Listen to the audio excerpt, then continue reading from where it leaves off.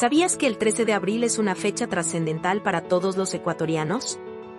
En este día, celebramos el Día del Maestro, un homenaje a los héroes de la educación que incansablemente trabajan en la formación y el crecimiento de los niños y jóvenes de nuestro país.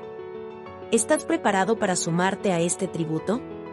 Esta fecha tan significativa se eligió en honor al destacado novelista y ensayista Juan Montalvo Fielos, quien nació en la ciudad de Ambato el 13 de abril de 1832.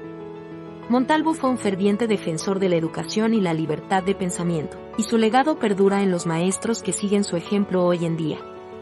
El himno al maestro ecuatoriano, compuesto por Enrique Spin Yepes en la música y Pablo Aníbal Vela en la letra, representa un símbolo de gratitud y reconocimiento hacia estos profesionales. Sus versos enfatizan la importancia de agradecer y respetar a quienes nos han instruido.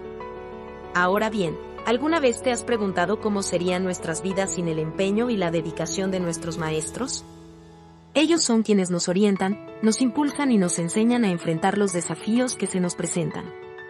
No obstante, a menudo olvidamos reconocer su invaluable labor y agradecerles por su enorme contribución a la sociedad. En este Día del Maestro, te invitamos a reflexionar sobre la influencia que han tenido los educadores en tu vida y en la de miles de ecuatorianos. ¿Hubo algún maestro que te inspiró a ser una mejor persona o a perseguir tus sueños? ¿Qué lecciones valiosas aprendiste de ellos? Comparte tus experiencias sobre ese maestro que dejó una huella en tu vida y difunde este video con amigos y familiares que también sean maestros.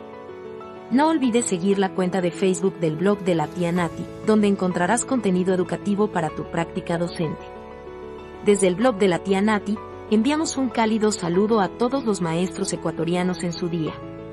Unámonos en la celebración del Día del Maestro y reafirmemos nuestro compromiso con la educación y el progreso de nuestro amado Ecuador.